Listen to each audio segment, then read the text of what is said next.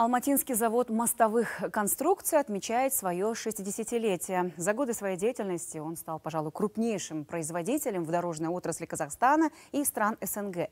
Железобетонные конструкции, выпускаемые предприятием, используются при строительстве автомобильных дорог, мостов, взлетно-посадочных полос. На заводе осваивают также новые производства по выпуску инновационных изделий. И во многом успехов добиваются благодаря сотрудничеству с государственными институтами, которые оказывают поддержку в виде льготного кредитования. Западно-Сибирский нефтегазовый комплекс, Большой Алматинский канал, спортивный комплекс Медеу, Западная Европа, Западный Китай – это далеко не полный перечень проектов, в которых участвовал Алматинский завод мостовых конструкций. Особенно популярными стали железобетонные балки, выпускаемые здесь после внедрения инновационных технологий. Их длина больше обычной – 42 метра. Это позволяет снизить стоимость продукции до 30%.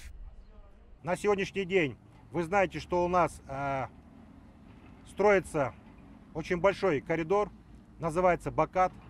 Большая Алматинская кольцевая автодорога, которая будет сдана в этом году.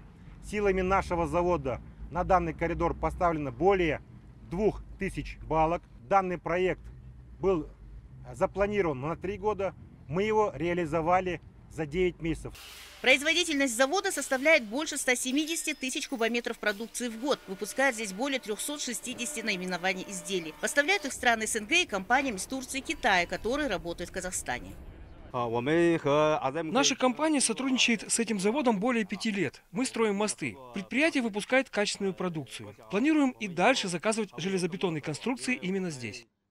Только за последние пять лет на заводе было вложено в производство больше 4,5 миллиардов тенге. Результат – развитие предприятия, решение социальных вопросов почти тысячи работников, многочисленные международные награды. А главное, завод ежегодно пополняет госбюджет на полтора миллиарда тенге в виде налогов. Алма Уразбаева, Валентин Лобанов, Хабар, Алматы.